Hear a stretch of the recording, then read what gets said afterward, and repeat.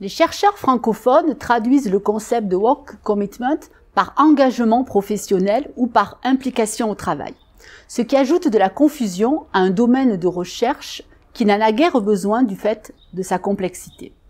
Deux raisons expliquent cette complexité. Tout d'abord, premièrement, le concept d'engagement professionnel est multicible. Différentes cibles d'engagement sont identifiées dans la littérature.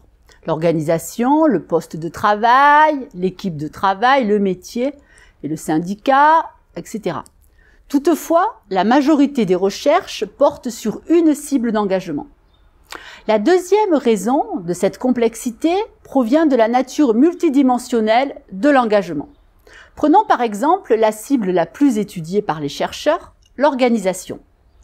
L'engagement organisationnel peut être affectif, la personne accepte les buts et les valeurs de l'organisation, réalise des efforts au profit de l'organisation et souhaite y rester.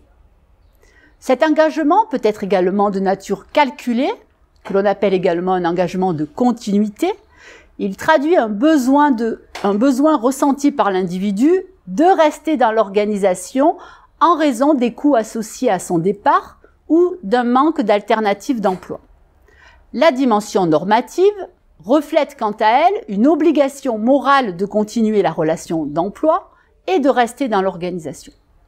Ainsi, l'engagement traduit un lien psychologique de différentes natures entre l'individu et une ou des cibles d'engagement.